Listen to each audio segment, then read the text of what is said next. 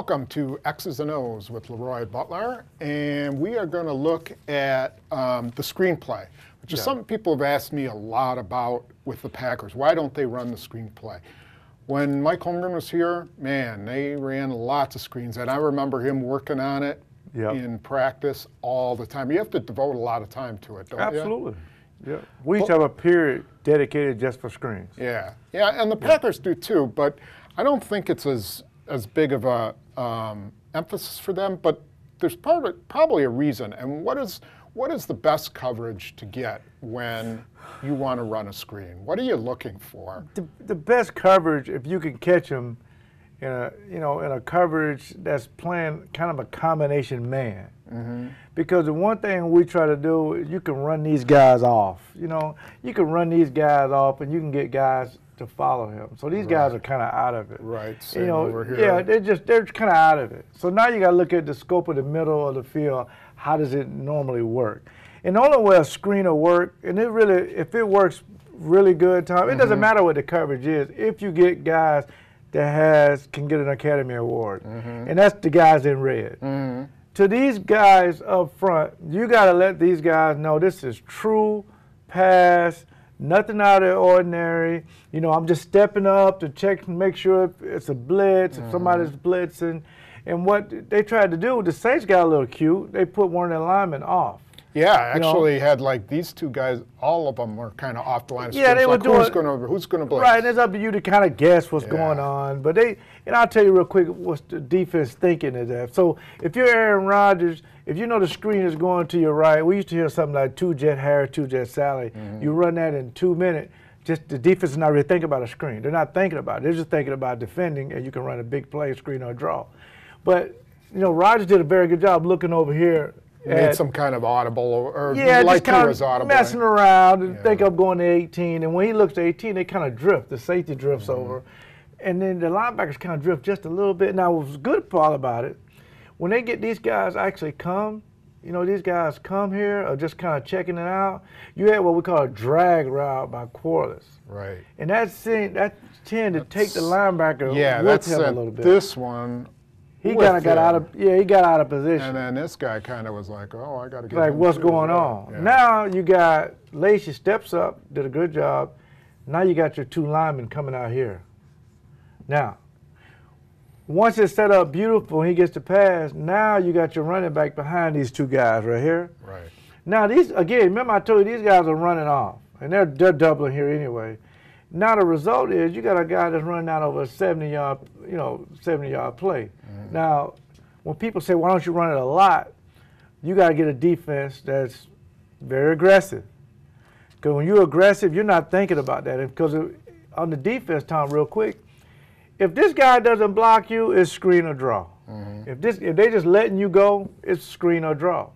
If this guy just said, you know, oh, I made a great move on the on the rookie here. Mm-hmm. No, not really. You got fooled, and that's when you run a screen. That slows pass rushes down. So if Aaron is getting into a lot of pass rushes in a two minute, you can see him going to a lot of screens. So let's let's assume they're in a um, cover four, you know, Okay. quarters, you Straight know, quarters. Okay. like that. Is this a bad play then? Is is the screen harder because this guy's just going to kind of drift off, right? And Yep. then he's going to come back. He's not going to be run off the field, right? Or Well, is he'll- in quarters? In quarters, he has to cover his quarters. So if there's a guy Okay. that still has to go, but the key is these safeties now are square, and they don't take no fakes. It'll still work, but it's not 70 or 65 yards. It'll be like 10 or 15. right. Because now your safeties are they're flying up, yelling screen to everybody. These guys redirect, and then you get a chance to kind of you know converge on the ball. But when cover two, they got to go deep with you know, they Especially when they're really worried deep. about Jordy Nelson. Absolutely. Right. So he gets more credit. Should have put him in red too, because he gets credit for that. Now on this side, you get a, a guy going deep, and you got you know Cobb going to the outside. So you just have to deal with these guys, and you can mm-hmm. run this during two minutes. Mm-hmm. You know, he just give him a call to go, you know, right or left, two jet, Harry or Sally. Oh, we got a screen. We got guys. You just let the four guys come. If you get a three man rush and they drop an eight, that what kills it. okay. There is no screen. As soon as as soon as they drop guys into zone like So that. you don't run screens on third and 21 or third Is and it 17. 'cause- is it yeah. Possible that because they don't run Packers don't run screens as much because they probably face a lot of zone because teams They probably like to play. face a lot of zone, especially you know here lately. So I mean, why waste a play? You know, this works because you got an aggressive front. yeah So, and trust me, once they got hurt, the Saints they didn't do it again. right They played a traditional four down guys, and you tell the guy to follow the guard. The guard is uncovered, it's hard. right If you got a guy on a guard, if he's what's his name, Lane yeah Lane Ta- Taylor Lane Taylor, if he moves, you move with him, right and there is no screen. okay all right. Yep. Um, next, we're going to look at a little bit of uh, Jordy, what's going on with Jordy Nelson. Yeah, because people think he's covered, but no, don't be so fast on that. Okay, this is another play from the Saints game, second quarter, second and eight at the Green Bay 38, 449 to go.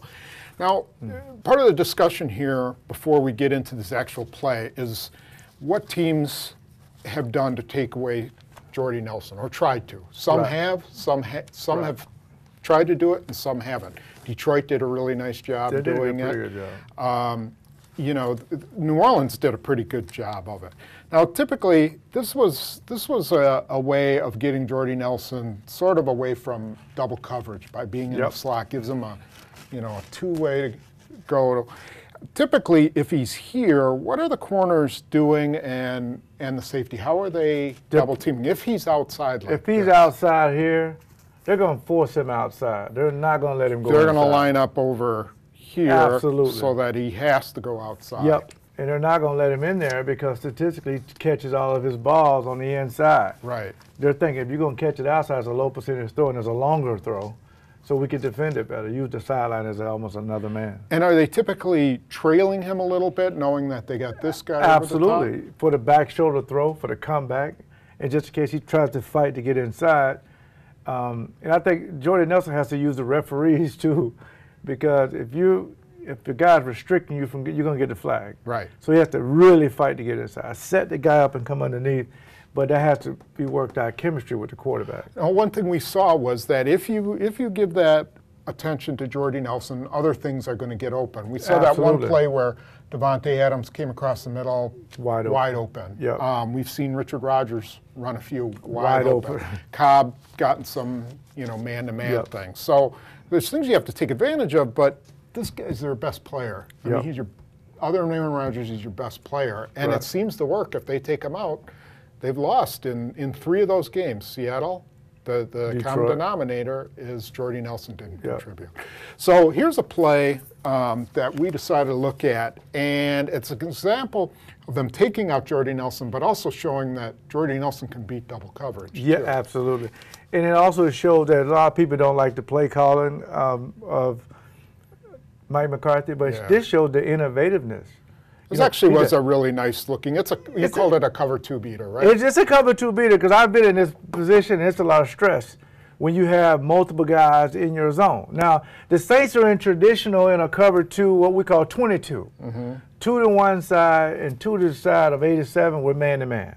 But when you put him at the number three receiver on the inside, it's hard to get in there. If you got a top corner like a Darrelle Revis, now sometimes he'll come in there, mm-hmm. but it's so much traffic in there. You really don't like to do that. You try to keep the integrity of the defense. So there's nobody really lined up over No, him. This guy no. is, is really sort of covering him. So here's kind of what the routes were. So Randall Cobb runs, He runs what we call a smash route. okay. Okay.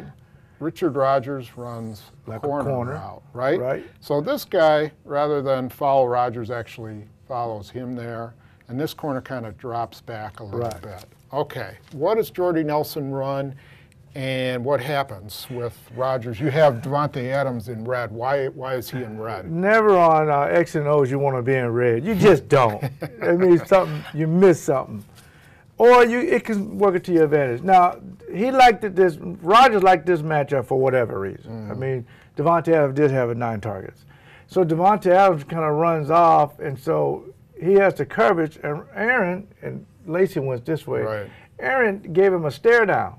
Now, when I say a stare down, he looked to his side. Right. Now, what Aaron should have did is to see, okay, if they're in cover two, because right now he knows the coverage on his fifth step, mm-hmm. and these guys are really deep. Okay, you know that if Jordan Nelson runs what we call an eight right here, the linebacker has to carry him to a point and drops him. So when Aaron got back, up, he looked here, he came back here, he made the throw, Tom, all the way over here to Rodgers, who was open. Good this was- 22, 22 yard. Good- Yep, Good, game. but- That was That's all- what we see on TV. Right, Oh, it's a great throw. Rodgers was open. right, He had Jordy Nelson touchdown. right. Now his progression would have said, okay, they're in cover two. If he likes this matchup, okay, great. But in the back of my mind, I know Jordy Nelson's running an eight route, and if say they are a man, it's a linebacker, hit him right there. That beats cover two. Right. If you keep throwing this route and it's a touchdown, coaches get out of it. They panic.